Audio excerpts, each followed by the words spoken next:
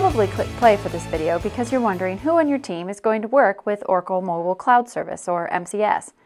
Are you a mobile developer contracted to develop apps using MCS? Or are you a service developer wondering how you'll plug in your enterprise's existing services into the mobile cloud? I'm Lynn Munsinger from the Oracle Mobile Platform team, and in this episode, I'll explain who's responsible for what when it comes to developing mobile applications in the cloud. There are many chefs in the kitchen when it comes to building enterprise mobile solutions. It's important to know who the various cooks are so that, for example, you don't waste a lot of time coding a mock-up that somebody's already created an actual implementation for. Or, well, insert your own war story here about the time you had to rewrite your code, right? Oracle MCS has been specifically designed to support these logical divisions of labor, so these roles will surface when you first enter the MCS UI. Now, let's say you're a mobile developer. As a mobile developer, your job is to create applications for the latest mobile devices. Often these apps incorporate existing enterprise functionality, which need to be optimized and shaped for mobile devices so your apps can sizzle instead of flop.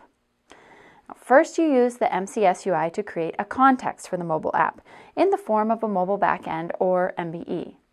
Then you gather the services that the app requires and bring them together so that they're exposed through the mobile backend. These service APIs are accessed via REST services, or more specifically, REST services wrapped around big, clunky enterprise resources to make them faster to work with and more mobile ready. However, you don't want to reinvent the wheel. So first, you look for existing APIs.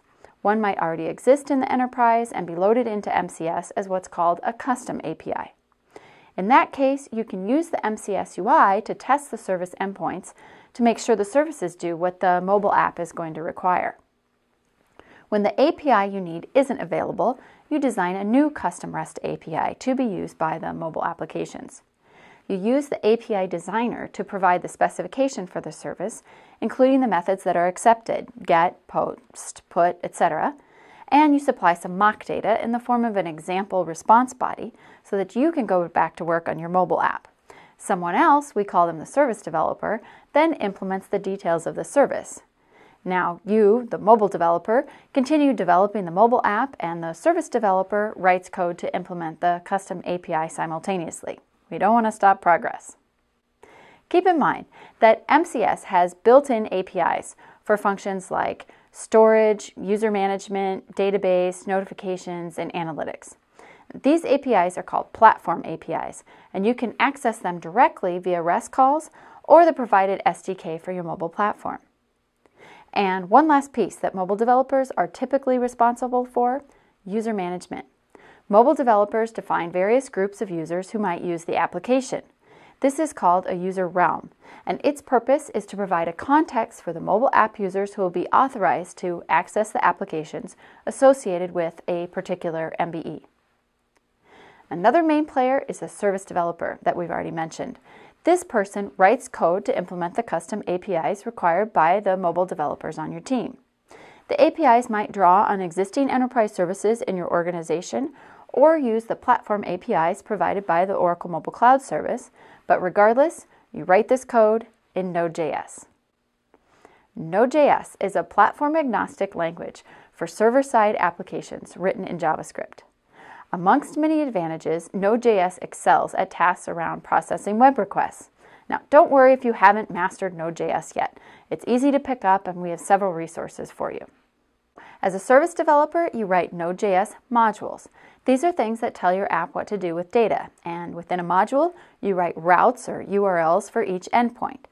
There's a library to help you do this called Express.js. There are hundreds of Node.js libraries available. Express is just one of them. So using Express within each route, you define what code to execute on each REST API endpoint, modeling off REST API naming conventions. Now, service developers, when you need your custom API to connect to a service existing somewhere in the enterprise, either on-premise or cloud, you use a connector API. To do this, you use the MCS UI to define that a particular implementation is connector friendly, and then that service can be accessed just like any other API. There are a few other roles involved in building enterprise mobile solutions in the cloud. There's the enterprise architect, determining the overall mobile architecture and keeping an eye on how apps are tested, deployed, and updated. Another important member of the team is the Mobile Cloud Administrator. In this role, you use the Administration tab of the MCS UI to ensure that other team members have the permissions they require to create and use mobile cloud services and features. You also set up mobile user roles, which have permissions and users for those roles.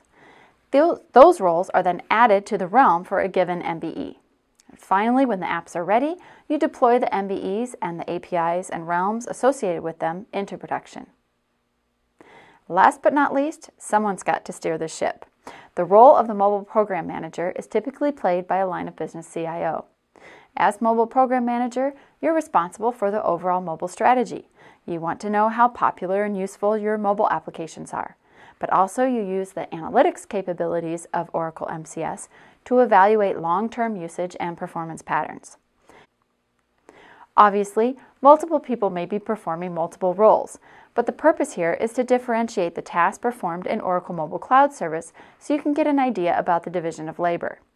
Now that you know who does what in mobile cloud development, it's time to gather your team and get started.